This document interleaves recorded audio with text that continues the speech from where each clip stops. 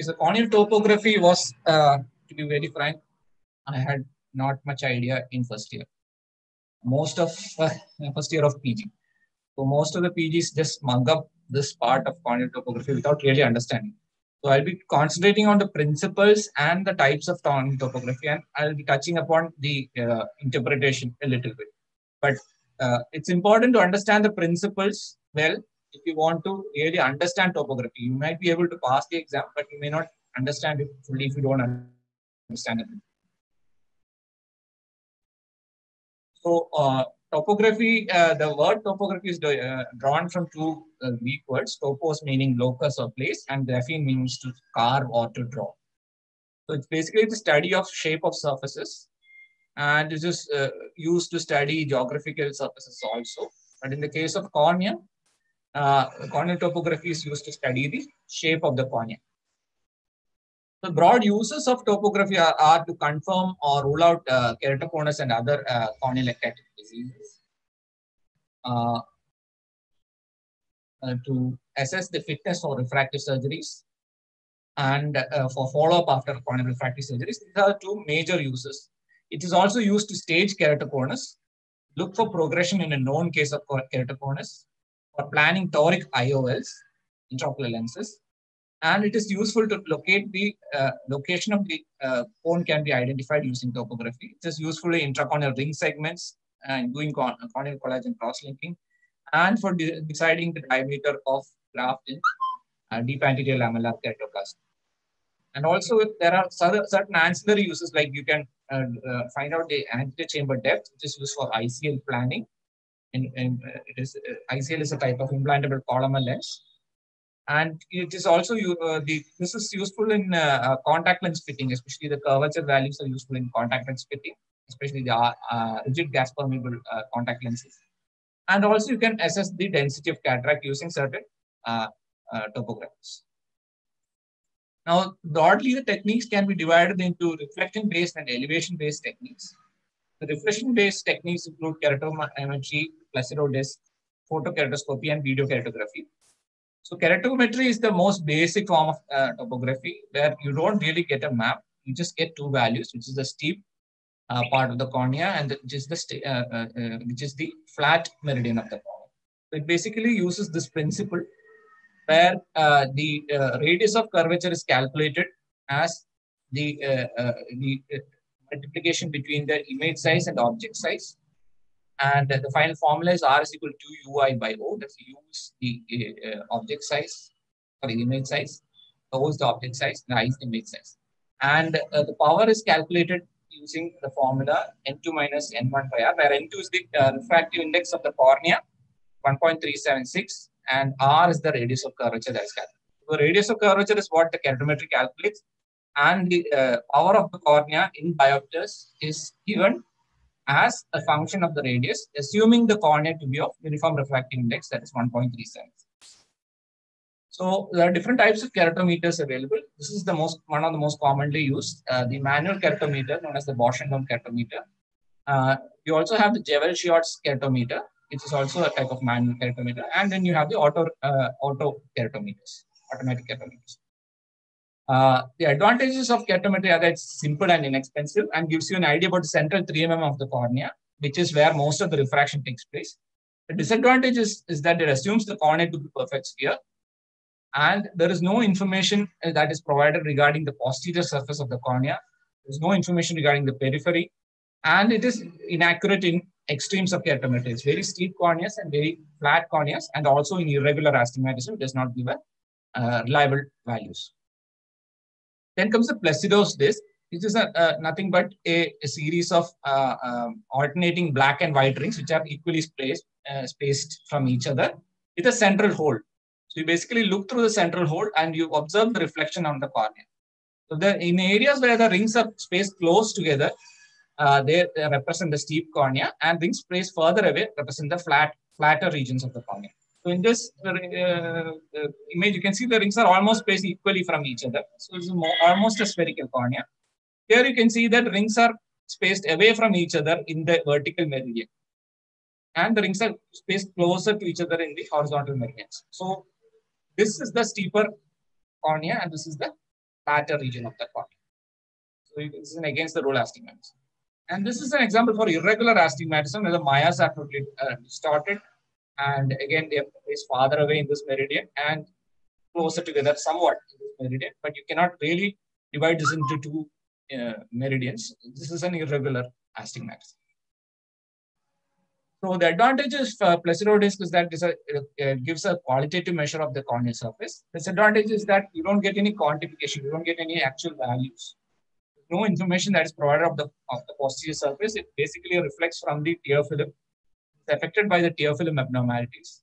Also by nose and orbit anatomy. That if you have a prominent nose or a deep orbit, the reflections may not be clear. You may have uh, ptosis or lashes uh, which are interfering with the reflections you may also have the orbital anatomy that's casting shadows on the reflections and does not give information about the very central cornea because you, that is where your aperture uh, lies for you. Uh, photokeratoscopy is nothing but Placido disc images which are photographed. Uh, this was a, these are older instruments which are usually not used nowadays. What are used nowadays are the video keratographers. They are the modern day Placido disc based reflection photographers. So they use, the advantage is that they use more number of rings and you get you also get computer and assisted analysis. You get actual uh, values that you can compare. So it, it's more of a quantitative measurement, not just qualitative. You get more number of data points than Advantages are that it is less costly than the elevation-based uh, topographers and gives more accurate information regarding the curvature than the elevation-based topographers because reflection-based topographers uh, find the slope of the cornea gives more accurate information regarding the curvature. Uh, whereas elevation-based topographers, uh, what they calculate is the elevation and curvature is indirectly derived. I'll come to that later regarding difference between curvature and elevation. The disadvantage is that only uh, anterior surface is measured. It is affected a lot by the tear film abnormalities and affected by nose and orbital anatomy as uh, mentioned earlier and you get limited information of the extreme peripheral cornea and the center, very central cornea. Now coming to the elevation-based topographers, uh, the uh, first generation of elevation-based topographers was the Orbscan. It used a slit scanning uh, based uh, technology where multiple slits were projected onto the cornea and the topography was described. The Orbscan 2 combines both slit scanning uh, along with uh, and uh, Placido disc-based methods to obtain the topography. So in Orbscan, basically what it does is it protects different about 20 slits from each side, from the right side and from the left side. And in the center, you have overlapping slits. So it, generates a lot of points. And because you have overlapping slits in the central area, you get more information regarding the central cornea. And it basically, uh, you have to understand the difference between curvature and elevation to understand what is elevation based on. So curvature, if you want to find out the curvature at this point of, suppose this is the cornea or any surface, and you want to find the curvature at this point, what you do is you draw a tangent to it and you find out the radius of curvature of the circle that is uh, forms the, uh, that has the tangent at this point. This is the radius of curvature. So the more the radius of curvature, flatter is the surface. If you look at this uh, uh surface and you want to find the curvature at this point, the same method is used, draw the tangent at that point, and you can see the radius of curvature is smaller. So the smaller the radius of curvature, the steeper the surface. So curvature is de uh, defined in terms of steep and flat. So this is the steep uh, area. This is a flat surface, a steep surface and a flat surface. When you come to elevation, elevation is always uh, described in reference to another point. So like if you want to uh, describe the height of Mount Everest, you explain it in terms of height from sea level, mean sea level. So similarly, you need a reference surface to describe elevation. Suppose you want to uh, describe the elevation at this point, what you have to first construct is something called a best fit reference surface. Mostly it is a sphere. It can also be a toric ellipsoid. Uh, a sphere which fits this surface in at most points is calculated by the computer using an automated method. So that the maximum number of points of the surface touch this sphere. And what the computer does is it uh, calculates how much elevated it is above the surface or depressed it is below the surface. So you can see in this figure that this point is elevated above the surface. So that is shown as an elevated area. And if you want to find out the elevation at this area on this surface, the best fit surface will uh, sphere will be larger. And you can see that this area is depressed below the best fit surface. So this will be shown in cooler colors. This will be shown in warmer colors like red, is shown in cooler colors like blue. I will uh, explain that later when I come to the scales. Basically, the Orbscan uses specular reflection to, determine the slope and the curvature of the anterior surface. That's using the same as the Placido disc-based technology. And uh, it uh, uh, also uses triangulation of the backscattered beam. That when a beam of light is uh, falls on a surface, it can get backscattered in different directions. So all these beams of light are triangulated to one point, and thus it it finds out the elevation of the surface. So the slit scan is used to find out the elevation. The disc technology is used to find out the curvature in the Orbscan, Orbscan 2. The uh, Orbscan gives the anterior and posterior curvature of the cornea. So you have information about the posterior surface. It also gives the anterior and posterior elevation and also gives the thickness of the cornea or corneal pachymetry. The advantages of Orbscan are that it uh, gives both posterior and anterior uh, corneal surfaces. Uh, it measures both, the, you get information regarding posterior corneal surface. Now, this is important in certain diseases like keratoconus because it is known that in keratoconus, the earlier changes occur on the posterior corneal surface. But the Placido disc-based uh, uh, devices measure only the anterior corneal surface. The, both the corneal power and the elevation can be accurately measured using the Orbscan. And the disadvantage is that it has lesser data points when compared, compared to certain other topographers, the elevation-based topographers like the Scheimpflug uh, uh, based topographers.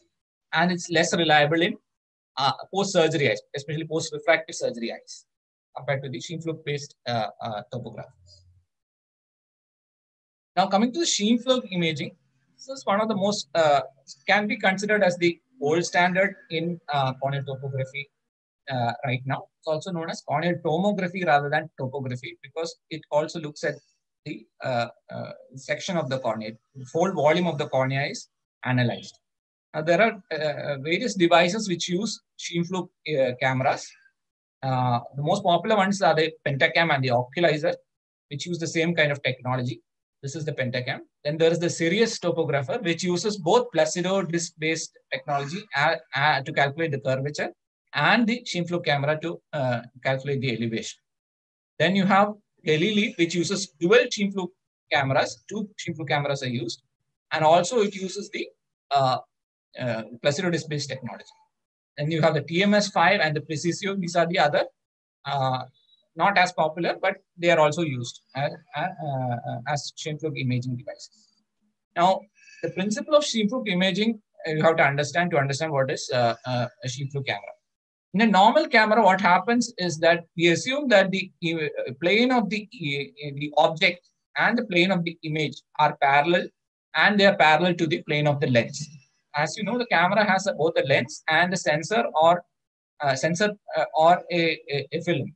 Film in the earlier times, now we have a sensor. Now, normal cameras have the lens and the sensor in this, which are parallel to each other.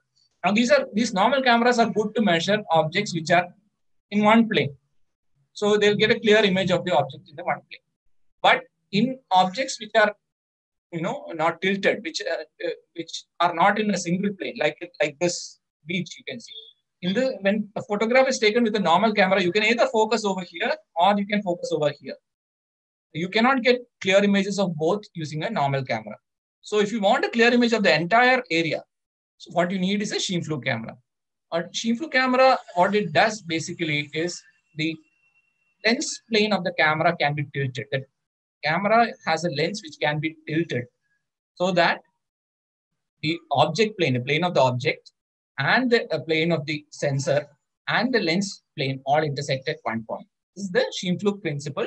Was described by Theodor Scheimpflug, but it was you, uh, uh, uh, initially described, initially used by Jules Carpentier. It's credited to a person called Jules Carpentier.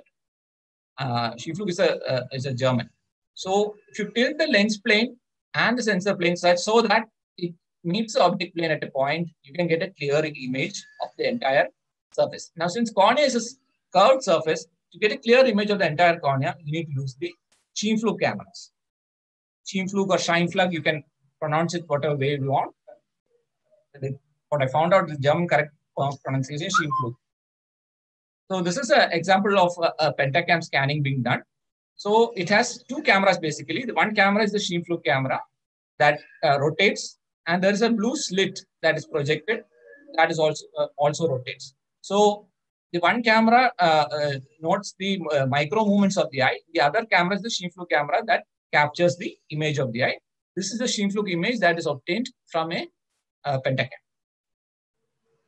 I'll mainly talk about the pentacam, and it's not uh, not enough time to discuss all the devices.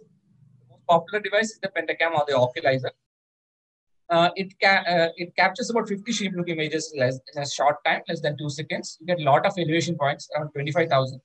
In the newer high resolution HR uh, pentacam, you get 1, 1 lakh 38,000 points. Uh, it measures both the anterior and posterior curvature and elevation. And corneal pachymetry gives the anterior chamber analysis and also gives a densitometry of the cataract, that's how thick the cataract is. The advantages are that its accuracy is less dependent on tear film abnormalities. Posterior and the anterior corneal surfaces are measured and gives an accurate measurement of the elevation. There are more number of data points and thus high, higher repeatability of the measurements. Uh, the dis disadvantage include uh, that uh, the, it is affected by sudden eye movement and curvature is less accurate compared to the Placido-based devices. And uh, because it, it derives curvature, it mainly measures elevation and derives curvature indirectly. So curvature may not be as, anterior curvature may not be as accurate compared to Placido-based based devices. And obviously it is more expensive. This is one of the other uh, methods of elevation-based topography. It's basically a theoretical method, uh, not used in clinically nowadays, where a calibrated grid is projected onto a fluorescein stained cornea. So the method is called raster stereography. It's mostly an experimental and not used clinically. Another experimental method which did not become popular clinically was the using the interferometry. There are uh, interference of it used the principle of interference of fringes projected onto the cornea. The Maastricht topographer was an example for that. Used moist uh, Moiré uh, uh, interference fringes. Don't need to know too much about it. This is one of the uh, uh, uh, latest innovations. It is a color LED-based topographer, again an elevation-based topographer called a Cassini total corneal astigmatism system. And it uses three colored lights, red, yellow, and green. And it uses ray tracing, which is a method to calculate, to triangulate the elevation. So it uh, uh, calculates the relevant local elevation using the ray tracing system. Uh, I will not explain in detail about those topographers, mainly concentrating on pentacam. So a bit of bit about the interpretation. In the interpretation of topography, the first thing that you have to see is raw image, especially in Placido-based disk-based uh, topographers. In Scheimpflug image-based devices, you have something called a quality specification. Quality space specification must not be in yellow, which means it is doubtful, or red. Red means you can discard the uh, quality of the image acquisition. Okay, the QS or quality specification must be in, not in yellow or red. And uh, in uh, Placido-based devices, you get the raw image. So this is a good example of a good raw image where you can see you can see almost all the uh, mires are uh, okay and they're not hidden or uh, by any uh, lashes or uh, lid or X or or the um, nose shadow or anything like that. But this is a raw image where you can see the mires are all distorted. This is a patient with dry eye. So as I said, Placido-based topographers are affected by tear film abnormality. So patient with dry eye with lot of distorted image of mires. So this is not a good uh, uh, image to interpret.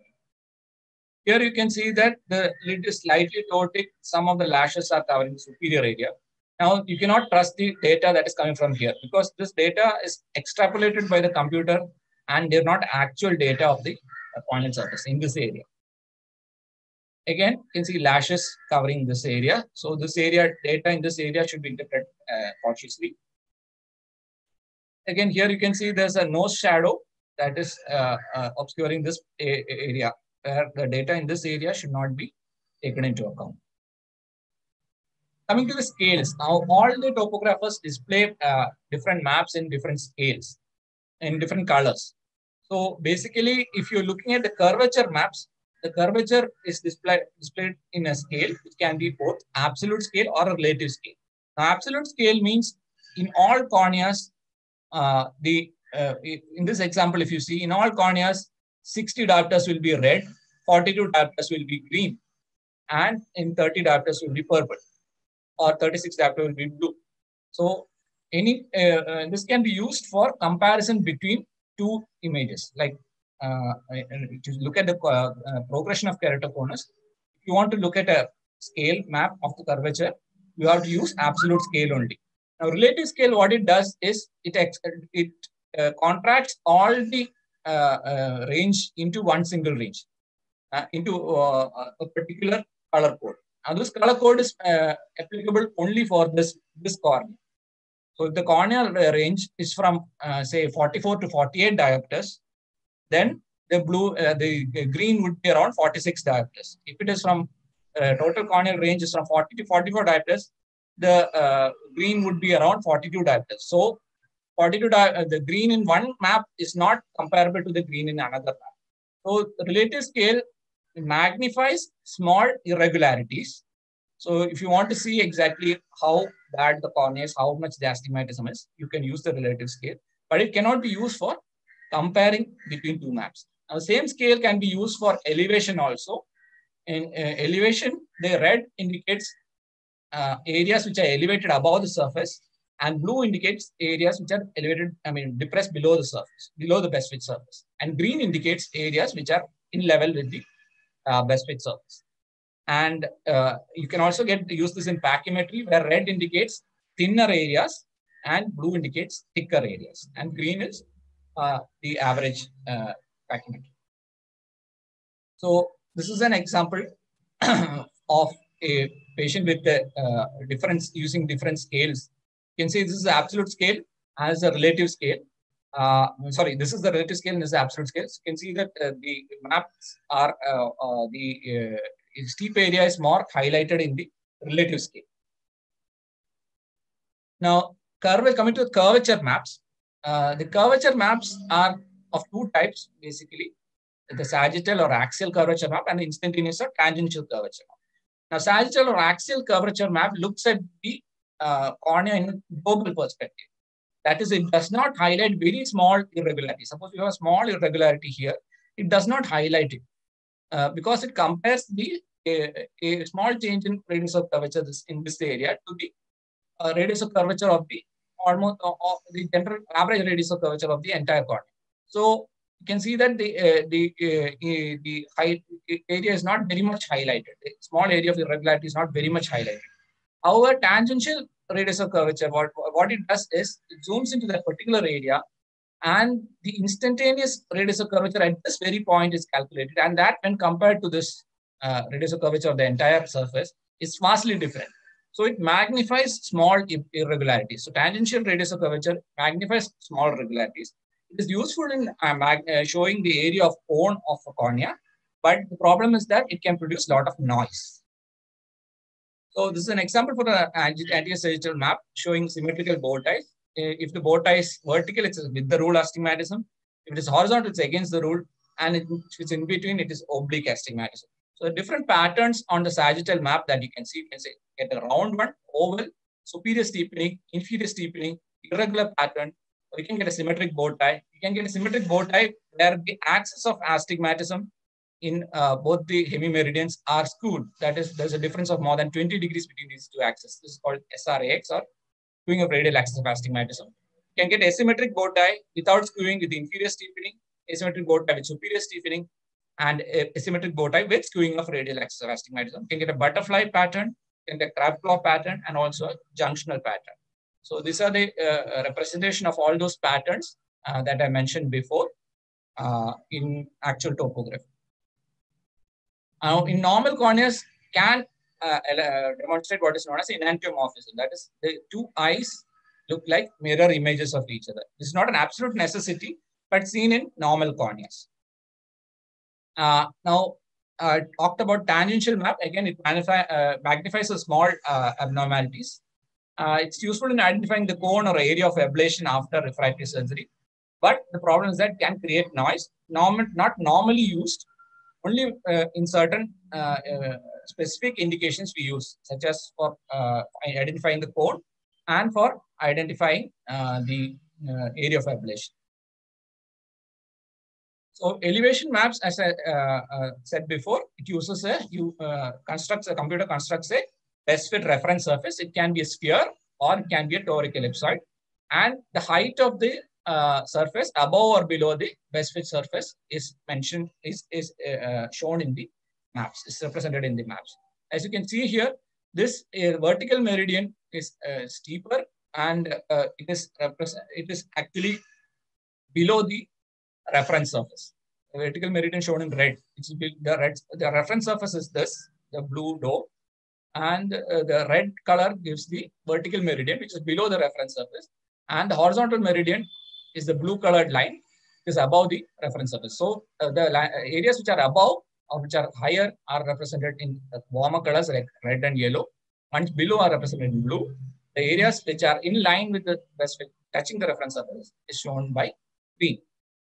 Again, when we uh, refer to elevation, we use measured, we use terms like elevated above and below. And we, when we talk about curvature, we talk about uh, steep and flat. In elevation is seen uh, mostly in uh, elevation-based topographers and not Placido disk-based topographers. Though certain Placido disk-based topographers give elevation by a method known as arc, arc step mapping, which is a mathematical model. They're not very accurate. Now, the patterns of elevation maps can be a symmetric hourglass, can be skewed hourglass that's uh, shifted to one side. It can be tongue-like extension or a central island or an irregular hourglass. Again, uh, the last one is a pachymetric map. Pachymetric map is given by a uh, uh, elevation-based devices. And usually you can see the thinnest point of pachymetry, the value of not just the uh, value of the thinnest point of pachymetry, you also have to see the location of the thinnest point of pachymetry.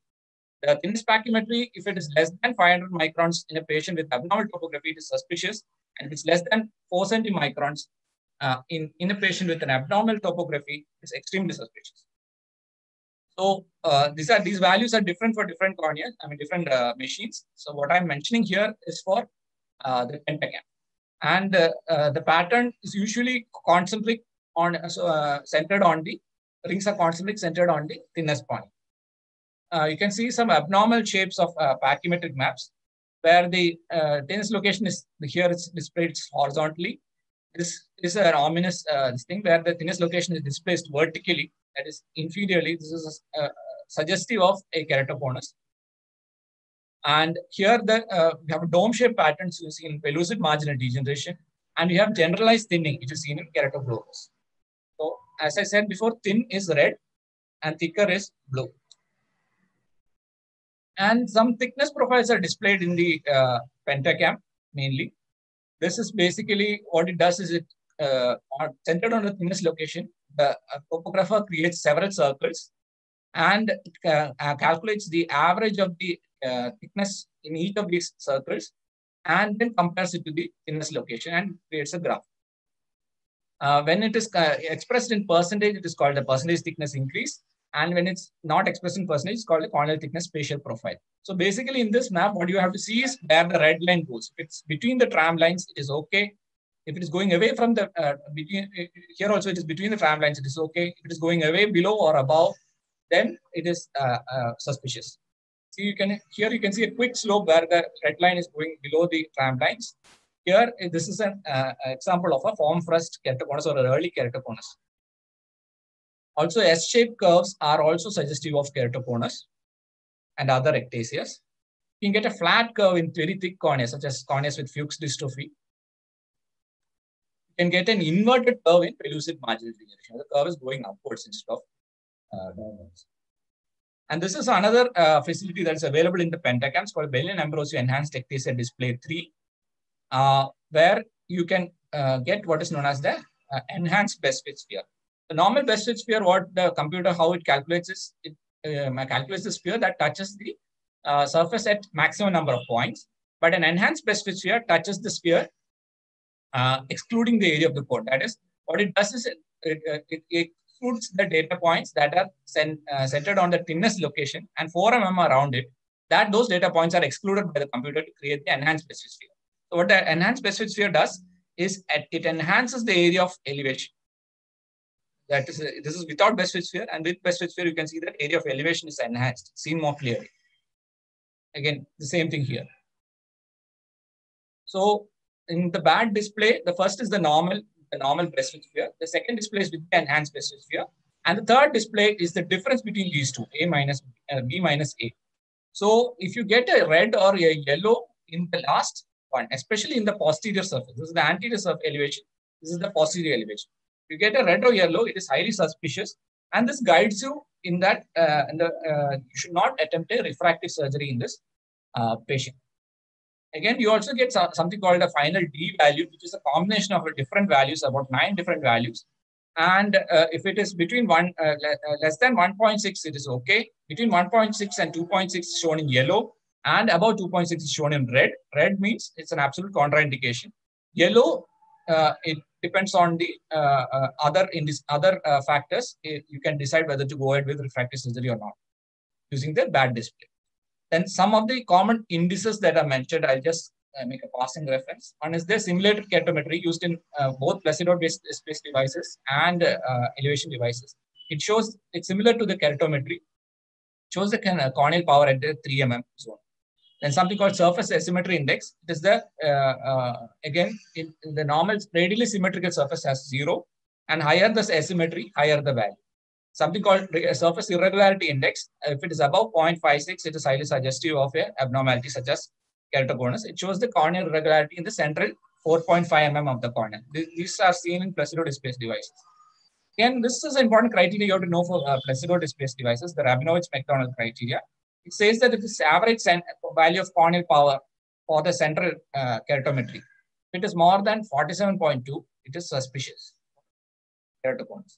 And inferior superior difference, that is the difference between five points of the inferior hemisphere and five points of the superior hemisphere of the corneal region at 3 mm from the corneal apex at different intervals of 30 degrees each. Now, if this difference is more than 1.4 diopters, again, it's suspicious for keratoconus. Then something called skewing of radial axis of astigmatism, which I mentioned before. This is the difference in axis between the inferior hemimeridian and the superior hemimeridian, the axis of inferior and superior hemimeridian. If it is more than 20 degrees, again, is suspicious. This is an index uh, described by Rabinowitz and Rasheed on the, uh, the KISA. There is a multiplication of uh, keratometry, central keratometry, inferior superior difference, the uh, astigmatism, and the skewing of radial axis of astigmatism. Divided by 300 into 100 gives the uh, KISA percentage and KISA percentage more than 100% is a suggestive of a abnormality. Let's just. And there are various other indices such as KSI, KCI, and KPI. Uh, all this uh, you don't need to know by heart, but just know that these are there are indices. Different topographers give different indices. Again, CIM is another indices index that is shown by a particular uh, topographer.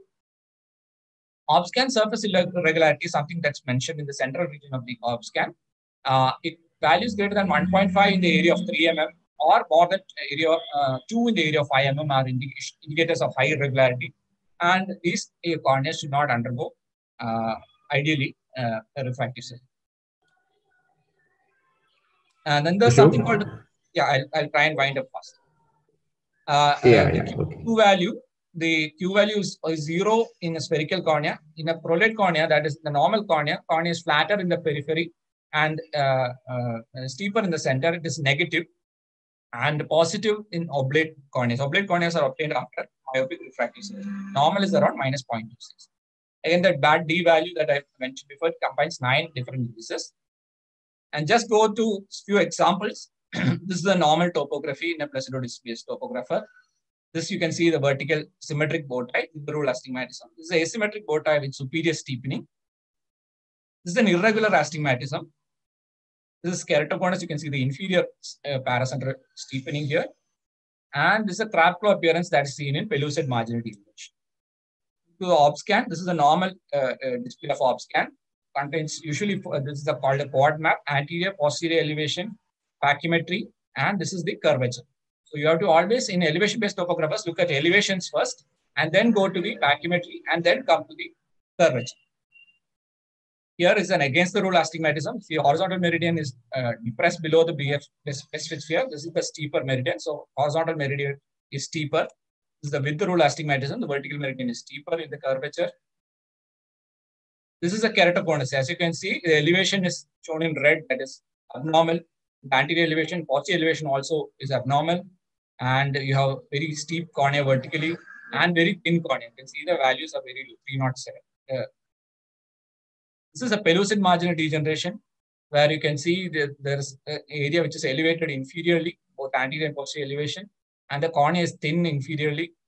And uh, you can see the, uh, uh, the, uh, the, curvature map, it's a crab claw appearance.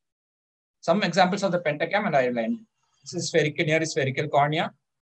This is the with the rule astigmatism, where elevation is pretty normal, and the uh, curvature map shows the vertical bow tie. Pachymetry is also normal. Is a keratoconus where you can see the elevation, front elevation is ele the uh, values are high. It's about uh, plus about 20.